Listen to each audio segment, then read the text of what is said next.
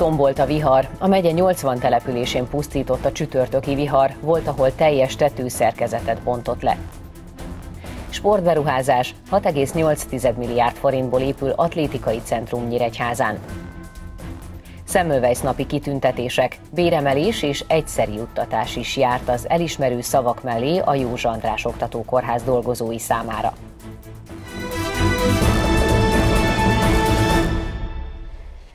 1300 segélyhívást kapott a Szabolcs-Szatmár-Bereg megyei katasztrófavédelmi igazgatóság a tegnapi vihar után. A Kölcsei Televízió híradóját látják, köszöntöm Önöket! A pénteki kora délutáni órákban 24 ezer lakásban még mindig nem volt áram a megyében. 80 településen tombolt a vihar, a legnagyobb károkat Kisvárda és Máté Szalka térségében okozta. A kárelhárításhoz az ország számos pontjáról érkeztek önkéntesek, közel 200-an segítették a helyreállítási munkálatokat. Csütörtök délután percek alatt érkezett meg a vihar Nyíregyházára is, szerkesztőségünk előtt nagy szemekben kopogott a jég. A borsó szeműeket a város több pontján diónagyságú jégdarabok váltották. Annyira egy háziak még szerencsésnek mondhatták magukat, ellentétben a Máté szalkaiakkal. Itt nem csak a fákat tépázta meg az olykor 120 km per szél, hanem a tetőszerkezeteket is károsította. Volt, ahol csak néhány darab sérült, máshol teljes tetőlemezeket szakított le. A repülő darabok és a tövestől kicsavart fák a közelben parkoló autókban is hatalmas károkat okoztak. Súlyos személysérülésről nincs információnk, de a mentőknek is akadt dolga a vihar után. Több mint 1300 segélyhívás érkezett. Szabolcs-Szatmár-Bereg megyében folyamatosan dolgoznak a megyei hivatásos önkormányzati önkéntes tűzoltói, valamint az önkéntes mentőszervezetek. Minden mellett más megyéből is érkeztek hivatásos és önkéntes egységek, illetve önkéntes mentőszervezetek. Jelenleg is folyamatosan jönnek hozzánk, segítenek a károk felszámolásában. Főként fakidőlésekhez, villanyvezetékre, úttestre, épületekre, illetve közintézményekre dölt fákhoz riasztották a tűzoltókat. Rengeteg háznak, lakóépületnek a tetőszerkezetét bontotta meg a szél. A vihar Kisvárda és Máté Szalka területén okozta a legnagyobb károkat, de 80 településen pusztított a vihar. Többek között jármiban villanyoszlopokat is borított az úttestre, a leszakadt vezetékek miatt pedig közel 30 ezer fogyasztónál még pénteken sem volt áram a megyében. Ezeken a településeken az EON szakemberei egész nap dolgoztak a hiba elhárításán. 6,8 milliárd forintból épül atlétikai centrum Nyíregyházán. Az új létesítmény hét sportágnak biztosít majd helyszínt, fedett és nyitott pályákat alakítanak ki, illetve szálláshelyel is rendelkezik majd a kertvárosi NVSC pályán. A közeljövőben a stadion is megújul a megyeszékhelyen, egy 8000 férőhelyes arénává alakítják át, mint egy 10,5 milliárd forintból. A látványtervek alapján így néz majd ki az új atlétikai centrum Nyíregyházán. Hamarosan elkezdődik a létesítmény építése. Már a tervezésnél bevonták a Magyar Atlétikai Szövetséget és a Nemzetközi Szövetséget, hogy a világszínvonalnak is megfeleljen a sportközpont. A volt NVSC pálya hosszú ideje leromlott állapotban van, a sport infrastruktúra fejlesztés egyik kiemelt helyszíne a kertvárosi pálya. 6,8 milliárd forint a kivitelezési összeg. Hosszú története van ennek a projektnek, először a tulajdon kellett megszerezni, nem volt a városi, és azt is megfelelő szerződéssel, a MÁV-tól ez megtörtént, és ezt követően a modern városi megállapodásba bekerült, amit a miniszterelnök úrral írtunk alá 2015-ben, és megindult a tervezés, és most eljutottunk oda, hogy a kivitelezési tendert is le tudtuk zárni, és nagyon örülök, hogy egyik neves nyíregyházi cég, az Aktuálbau építi ezt a beruházást, nyilván nyíregyházi alvállalkozókkal együtt, az atlétikai centrum 7 sporták számára biztosít majd helyszínt, a fejlesztést összekapcsolják majd a Continental Aréna mellett épülő bújtosi oszodával, és magával az arénával is, így nagyobb programsorozatokat és sporttáborokat is szervezhetnek a megyeszékhelyen. A munkaterületet július 12-én veszi át a kivitelező, a konkrét munka pedig július 15-én indul. A komplexum megépítésére az átvételtől számítva 600 nap áll rendelkezésre. Tartalmaz fedett pályákat, illetve nyitott atlétikai pályákat is, hozzátartozó lelátóval, Ebben a sportcentrumban helyet kap étterem, szállodai funkció, különböző edzőtermek, illetve külső, külső futópályák is. A Nyíregyházi cég volt a kivitelezője a Gyula Igrosics labdarúgó akadémiának, így van már tapasztalatuk sportlétesítmények építésében. Nyíregyházán a stadion is megújul a közeljövőben, akár már idén elkezdődhet a beruházás, ugyanis érvényes kormánydöntés van az ügyben, közölte Kovács Ferenc polgármester. Ez egy 10,5 milliárd forintos korszerűsítés lesz, modern, fenntartható és nagy rendezvényekre, akár koncertekre is alkalmas, 8000 férőhelyes arénaszerű stadionná alakítják a jelenlegi létesítményt. Csak nem 7000 dobos csempész cigarettát foglaltak le a Nemzeti Adó és Vámhivatal munkatársai az ukrán határon egy személygépkocsiból. Egy ukrán család Záhonynál jelentkezett belépésre autójukkal. A kocsi tételes átvizsgálásakor a pénzügyőrök a padló szőnyegénél és az alvázánál külső behatás nyomaira bukkantak majd a további alapos vizsgálat felfedte a cigaretta csempészetre kialakított rejtek helyet is. Az autó teljes hosszán házilag kialakított rejtek helyen 6895 doboz, 8,5 millió forint értékű adózatlan cigarettát találtak a NAV munkatársai. A sofőr elmondása szerint 200 dollárt kapott volna a sikeres fuvarért. A NAV munkatársai a sofőr ellen költségvetési csalás büntettel követésének gyanúja miatt feljelentést tettek, a füstölni valót és a járművet pedig lefoglalták. 30 kitüntetést, valamint 15 főorvosi és 8 adjunktusi kinevezést adtak át a Semmelweis napon a megyeházán. A rendezvényen elhangzott az ország egyik legnagyobb integrált egészségügyi intézménye, a Szabolcs megyei kórház nem működhetne ilyen magas színvonalon a közel 5000 dolgozó elhivatottsága nélkül. Ennek elismeréseként jelképes bónuszt is kaptak a kitüntetettek. Jelenleg az ország legnagyobb egyesített integrált egészségügyi intézménye a szabolcs bereg megyei kórházak és egyetemi oktatókórház. Közel 5000 dolgozó végzi nap mint nap a munkáját, közülük több mint 3000 fő ápoló, közel 670 fő orvos, a többiek pedig a háttérben végzik feladataikat. Azt gondolom, hogy ez ugye az ország egyik legnagyobb ilyen intézménye, ez azt jelenti, hogy nagyon komoly szakmai munkát végeznek a kollégáim. Mind az ápolás, mind a, a, a maga az intézmény fenntartása érdekében, hisz nem csak ápolókat tüntetünk, hanem a háttérszolgáltatásban lévő kollégákat is. Tehát akik azért dolgoznak, hogy, a, hogy az ápolók és az orvosok tudják nyugodtan végezni munkájukat. Ez egy főhajtás is előttük, nagy megbecsülés és nagy, nagy megbecsülést érdemelnek ki, hisz ők olyan pluszt adtak a, a mindennapi munkáik mellett, amire a vezetőik, a kollégáik felfigyeltek. Még egyszer köszönet érte. A főigazgató hozzátette, az erkölcsi elismerés minden dolgozónak jár, hiszen lelkiismeretesség és szorgalmas elhivatottság jellemzi őket. A kitüntetést és a kinevezéseket azonban minden évben csak azok kaphatják meg, akik megfelelnek egy pályázati feltételrendszernek. Így idén 30 kitüntetést és fejenként 60 ezer forintos jutalmat tudtak kiosztani.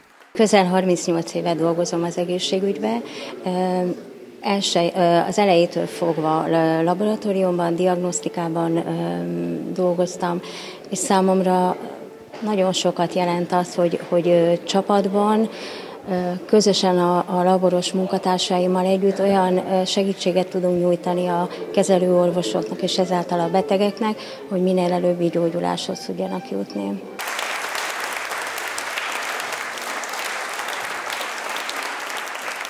...2004 óta dolgozom a Nyíregyházi Józsa András Kórház intenzív osztályán, és hát egy ilyen kinevezés mindenképpen egy jó leső érzés az elmúlt évek munkája miatt, egy elismerés, amit az ember mindig nagyon szívesen fogad, és nyilván ezzel jár még több munka, még több felelősség, és még több munka, még több felelősség.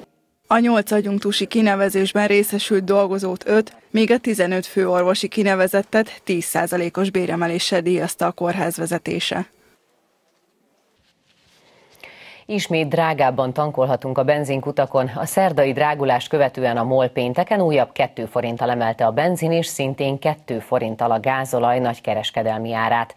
A benzin literenkénti átlagára így 380 forintra, a gázolai 393 forintra emelkedett. Szerdán a 95-ös benzin ára 3 forinttal, a gázolai 5 forinttal nőtt. Az autósok 50 forintos különbséget is tapasztalhatnak a töltőállomások árai között. A benzin ára 2012. április elején érte el csúcsát, akkor egy liter átlagosan 451 forintba került. A gázolaj literje 2012. január közepén volt a legdrágább, átlagosan 449 forint. Idén új helyszínen várja az érdeklődőket a Fesztivál az Állatokért programja. Az Állatbarát Alapítványa Park Hotelben rendezi meg az esemény sorozatot. Táncos fellépők, koncertek, puller sport bemutató, író-olvasó találkozó és malac simogatás is várja a kutyásokat és a kutya nélkül kilátogatókat egyaránt. Hosszú évek óta a Bújtosi Városliget adott otthont a Fesztivál az Állatokért rendezvényének, tavaly azonban már az erdélyi tornapályán várták az állatbarátokat. Idén ismét új helyszínre költöznek még hozzá a parkhotelbe. Ez bár kisebb terület, de a szervezők szerint az áramellátás itt sokkal stabilabb lesz. A programok június 29-én szombaton délután 13 órakor kezdődnek egy táncos produkcióval, majd a szokásos kutyaszépségverseny következik egy kis újítással. Három kategóriában indulhatnak a versenyzők, az állatok. Ugye az első az örökbefogadottak kategória, ezzel bíztatnánk ugye mindenkit, aki tőlünk, vagy bárhonnan máshol gyepmesteri telepről fogadott örökbe, hogy nevezzen bátran.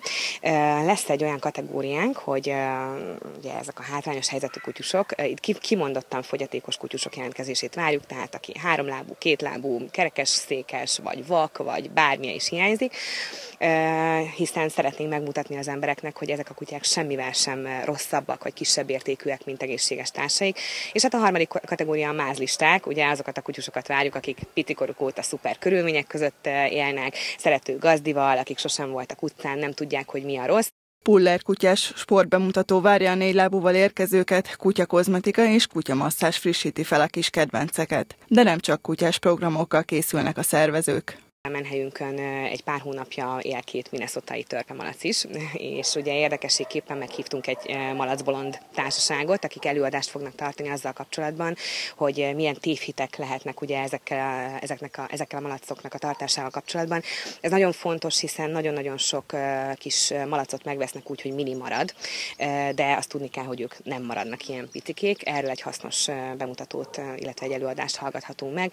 Lesz egy író-olvasó találkozó is Marton Zsófi Zsófival, ő gyakorlatilag gyógynövényekről, kutyáknak felhasználható gyógynövényekről tart egy ilyen kis találkozót, lehet ugye vele beszélgetni, illetve kérdezni. A gyerekeket idén is habparti várja, lesz tombola, tortavágás és a sóstózó is készül interaktív állatkertes játékokkal. A napot Nelson és Karmapirin koncert, valamint Erdély kocsma parti zárja. A fesztivál az állatokért programja idén is ingyenes.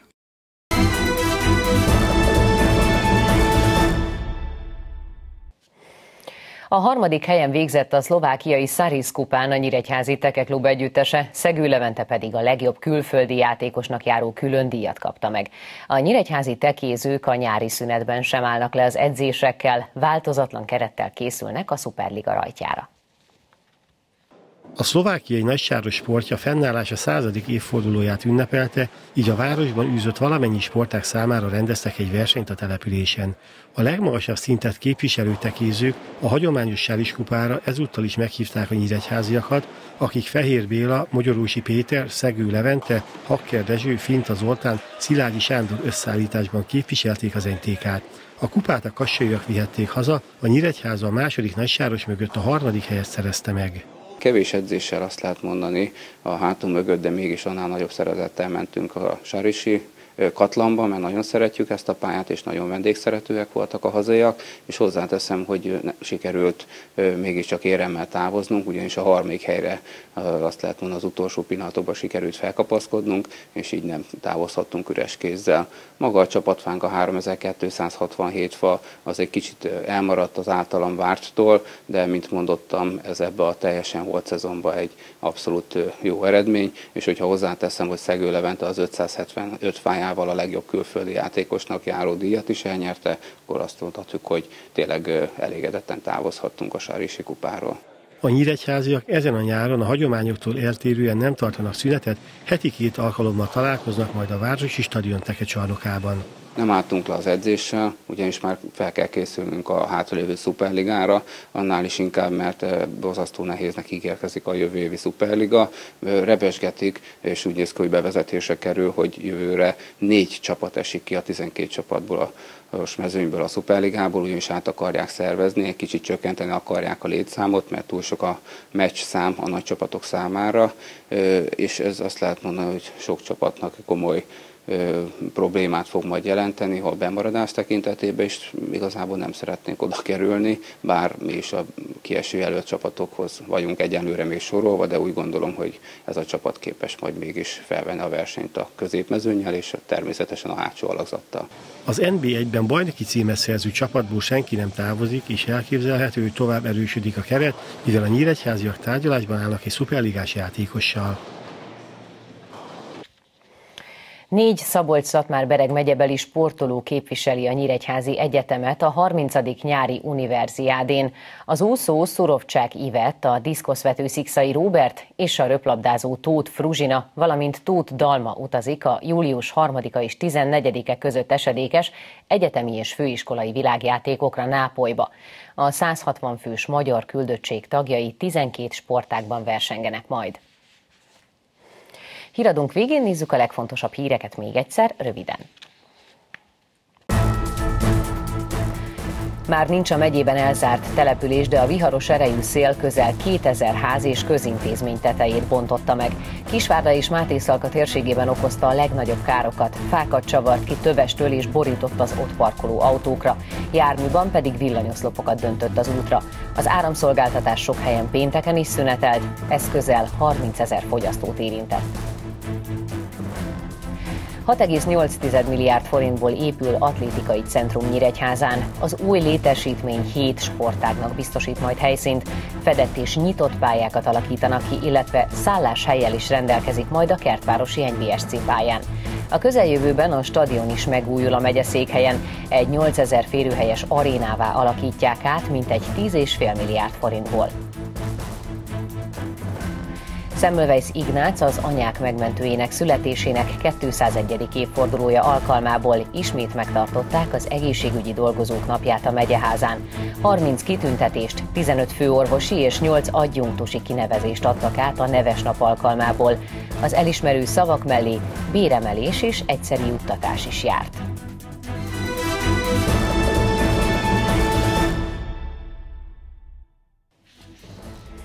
Önök a Kölcsei Televízió híradóját látták június 28-án pénteken. Friss hírekkel legközelebb hétfőn este várjuk majd Önöket, hétvégén pedig heti hír összefoglalónkat, a krónikát láthatják. Tudósításainkat addig is elérik a honlapunkon. Én munkatársaim nevében is köszönöm a figyelmüket, a viszontlátásra!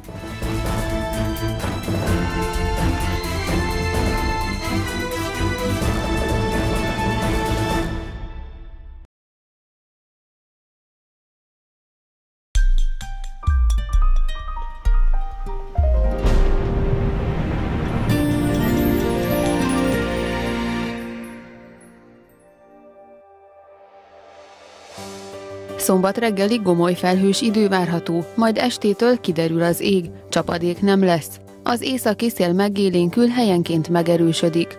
A legalacsonyabb éjszakai hőmérséklet 14 és 15 fok körül alakul. Fronthatás nem veszi igénybe szervezetünket, általában nagyon erős lesz az ultraibolya sugárzás, a melegben fogyasszunk sok folyadékot.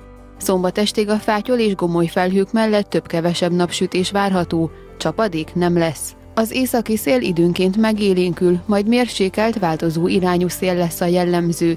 A legmagasabb nappali hőmérséklet 25 és 27 fok között alakul.